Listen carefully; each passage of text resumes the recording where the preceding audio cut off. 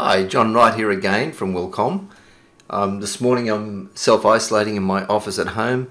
I hope everybody's coping well with their isolation wherever they are in the world and again I wish you the very best. Please stay safe. Um, thanks for watching these videos. Yesterday we looked at creating motives and using motives as a stamp. So such as these flowers and the little flowers at the bottom. This morning what I'd like to do is take a look at how to create the actual motive runs. So I'll just reduce this down a little and use the pan tool to push it aside. And what I want to do is select the motive runs that are in the design. Just drag them off so you can see. So we've got, you know, half a dozen, perhaps eight different motives.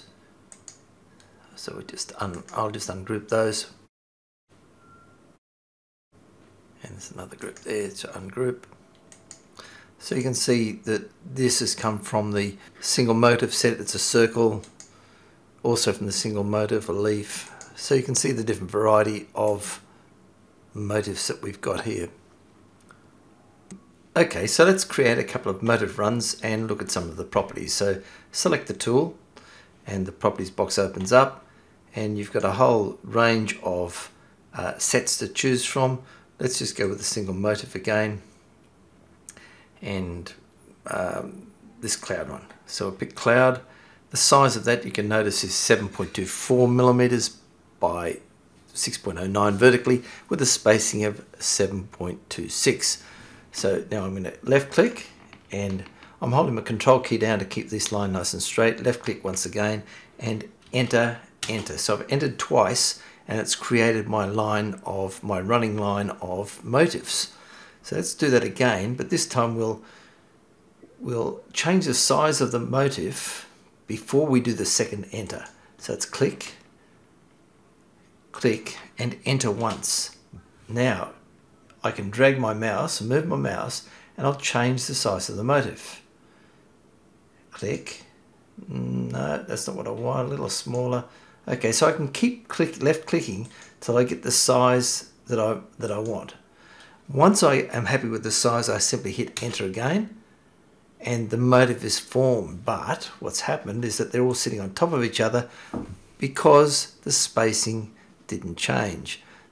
If we come back now and change the spacing to say um, 17, back up there, 17 millimeters, you can see that they space themselves out and there's an even spacing between each of each of our motifs. Okay, so let's slip down, uh, miss these settings here, we'll slip down to gradient size and spacing. So if I select that, you can see that the, the, the motif has been graded down in size from one end of the line to the other and it's the, the smallest size is 50% of the larger one. So the first setting we can change is that or 75 so we can select whatever minimum size we require. Um, and the gradient size and spacing has changed. So as the motive has got smaller it's moved closer to its neighbor. The next option would be to change the gradient size only. So it's changed the size of the motive but not the space between them and the third option would be to change only the spacing. So the motifs haven't reduced, just the spacing is reduced. So come back to our, our gradient size and spacing. So let's grab, uh, we'll, we'll digitize another line and just for fun we'll choose block 32 and this time I will click, click, enter, enter. Then I'll select that line and change the spacing to say uh, 12 millimeters. And I'm going to reshape the motif, the line, the vector line that forms the shape. So I'm going to right click on the vector line and just drag down to make a curve. I can grab the end of it and I'll drag it in to make the curve tighter. Okay, so this setting says keep the size and the spacing constant. The second setting says when the curve gets tighter, change the size of the motif, so reduce the size of the motif and alter the spacing.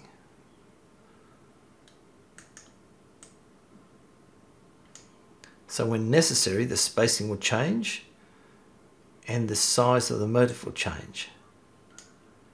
So you've got a smaller motif in there. So if I kept it constant, you can see they're going to overlap there. But by giving it permission to vary the size of the motif, it will reduce in tight situations. Okay, come back to our first line. The very bottom settings are you may want to, to remove the first and or the last motive. Let's say you were running into you were closed, it was a closed shape object and you had the first and last ones were overlapping. You could uh, remove either one of those. The other feature here, if I grab, actually we'll use this one here. If I grab this uh, line of motive run here and simply make it larger, so I'm not reshaping, I'm just making it larger it's dragged the, the motives out, but I want to regenerate it so the motives remain at, at the uh, chosen size. So regenerate it.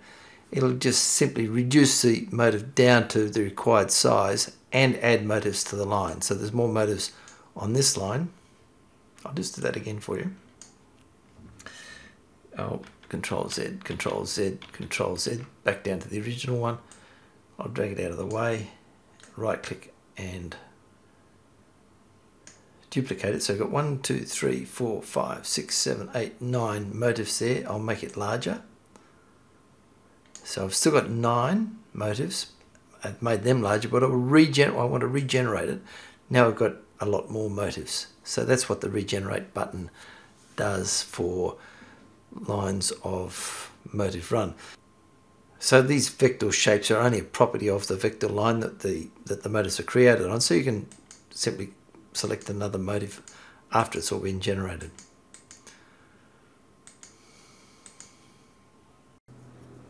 And finally for this video, let's look at column motif. So again, we select the tool from our fills toolbar. It'll bring the properties up and we select a column tool. And I'll just make a simple curve with a wide wider middle.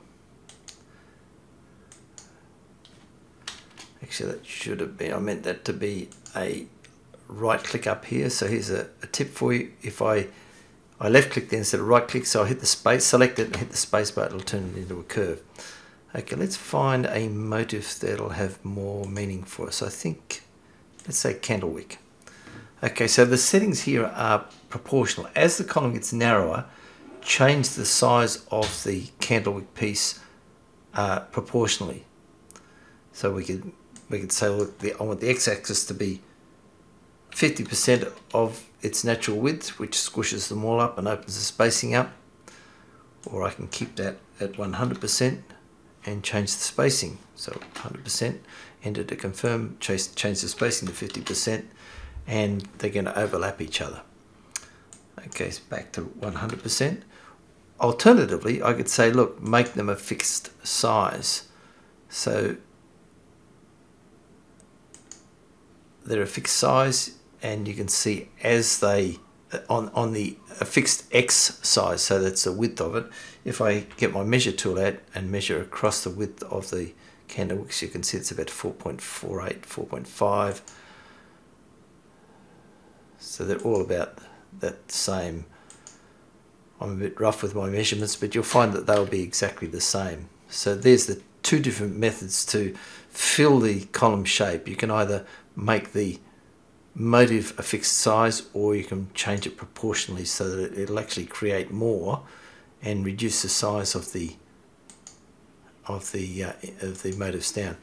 And let's change from our candle wicking set to children and uh, the little turtle or the car. let's go with the little turtle, and the mirror motif will demonstrate what that is. So it just turns it on its head. So we've covered uh, three of the uh, different type of motifs, a stamp, the running stitch, and now the column. And in the next video, we'll look at uh, motif fills. Thanks for watching, and please don't forget to send some photographs of where you live or your workplace. I'd love to include them in these videos. Catch you next time.